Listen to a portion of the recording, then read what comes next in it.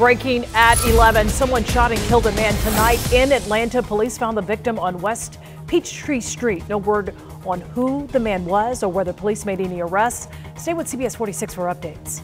Good evening. I'm Rick Folbaum. And I'm Sean Gables. More breaking news in Atlanta.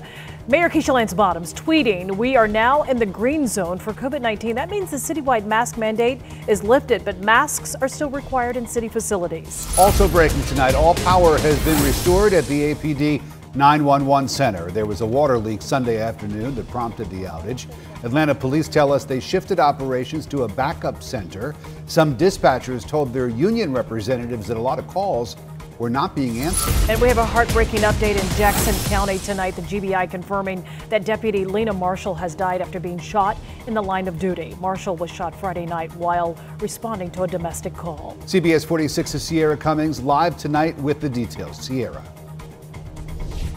When Deputy Marshall arrived to that Jackson County home to help a family, a woman came out and started shooting at the officer. She remained in critical condition all weekend. Her end of watch came this afternoon.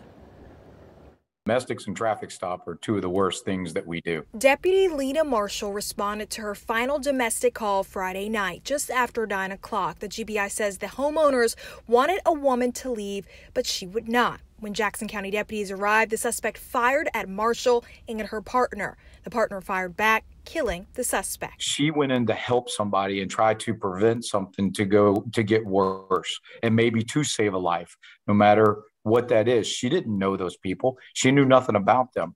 All she knew as she went in there is this is my job to save somebody and protect somebody. Vince Champion with the local police union says officers don't need to know each other to be family. He considers this a loss for the entire law enforcement community. Jackson County even began raising funds to help with Marshall's recovery. The sheriff writing on his Facebook, their hearts are heavy tonight as the mom lost her fight. We will carry on and we will take the patrol now and she can rest in peace.